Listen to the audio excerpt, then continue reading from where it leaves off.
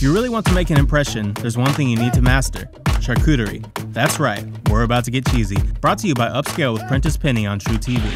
Charcuterie. If you can say it right, you're halfway there. First, pick a board wooden, classic, whatever floats your boat. Next, the meat. Pick meats that contrast and complement each other spicy with mild, soft with hard. Keep it simple and roll the meats for the cleanest presentation. And remember, what grows together goes together. So pair meats and cheeses from similar regions, like Parmigiano Reggiano and Prosciutto di Parma. Next, add some seasonal fruits to cleanse the palate red or green grapes, figs, or dried apricots.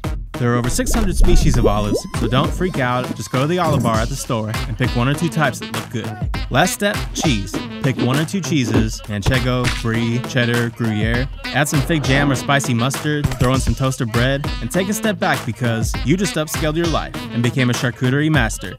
Be sure to check out more tips about mastering the art of charcuterie on Upscale with Prentice Penny, Tuesdays at 10, 9 central on truTV.